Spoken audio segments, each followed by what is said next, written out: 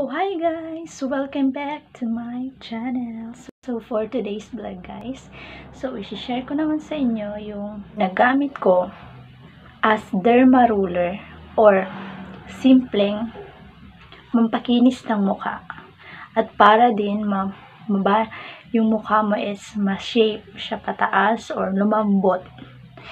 Plus, sa murang halaga or affordable naman kahit sino makakabili nito at makakagawa nito. So, kung ano yon just keep on watching. So,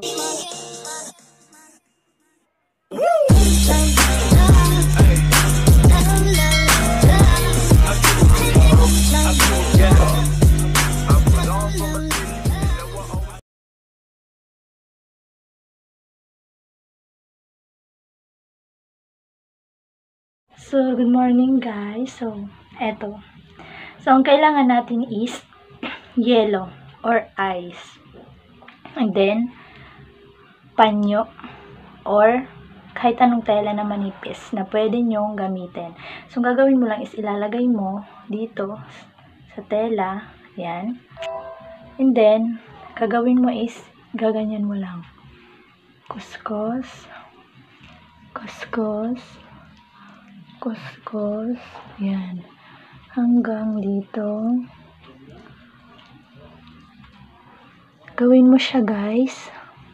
Within, siguro, hanggang sa matunaw yung yellow or depende sa'yo. depende sa'yo kung gusto mong ihinto na gawin mo siya guys every morning. At isa pa guys, nakakatulong siyang mawala yung eye bags or hindi na mahalata yung eye bags niyo. So sana yung sa akin mawala na yung eye bags ko dito. So kaya wala akong pimples. Ganito pa talaga yung isa pa to sa nakakatulong sa akin. So isa lang to sa nakakatulong sa akin. Ang maganda siya guys is nakakapalambot siya ng mukha. And ang masarap sa pakiramdam, parang relaxing sa feeling. Yan. Tapos yung mga dark spots niya at mga whiteheads is natatanggal din dahil sa panyo. Wow, masarap sa feeling guys. Gawin nyo siya every morning or every morning or bago matulog. Pero yung sa akin, morning at bago matulog ko siya ginagawa. Ayan guys, ayan. Kita nyo naman.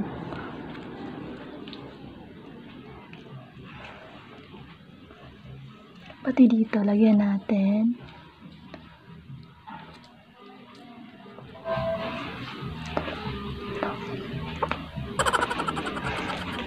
May sama. Pangit ng boses. Maganda sa sa mukha, guys. Una, una. Ikaw na yung maganda. Ako na tong pangit. Ikaw na maganda. Guys, relaxing sa feeling kasi malamig. So, ayan kung makikita nyo is, sayang hindi nyo makita, guys. Kasi sana nakik nakikita nyo is yung yung mga whiteheads dumidikit dito sa panyo na to.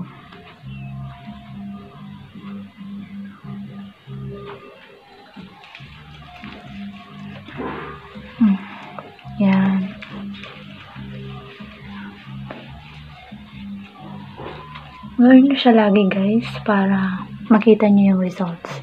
Kasi yung sa akin is yung mga whiteheads, ayan, natatanggal. Tingnan nyo naman yung mukha ko. Yan. Wala po akong ginag hindi pa ako nagpapaderma or ano kasi poor lang po kami. Flat yung nose ko, no? flat yung sa baba, flat din yung nose. Mm. Yan guys. So yan, lagi po akong dito nagbablog sa kwarto ko kasi dito lang yung medyo matahimik. Sa labas po isang ingay niya.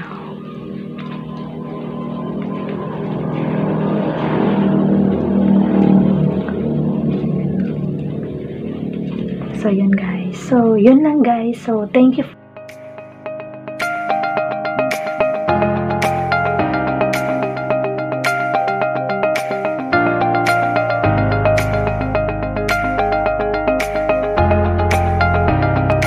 watching. So, sana nagustuhan nyo tong vlog na to at sana may naitulong ako sa inyo. At kung nagustuhan nyo, huwag nyo kalimutang i-like at huwag nyo rin kalimutang i-subscribe yung channel ko para lagi kang updated sa mga video ko. So, yun lang guys. So, bye. Love you guys. Thank you for watching.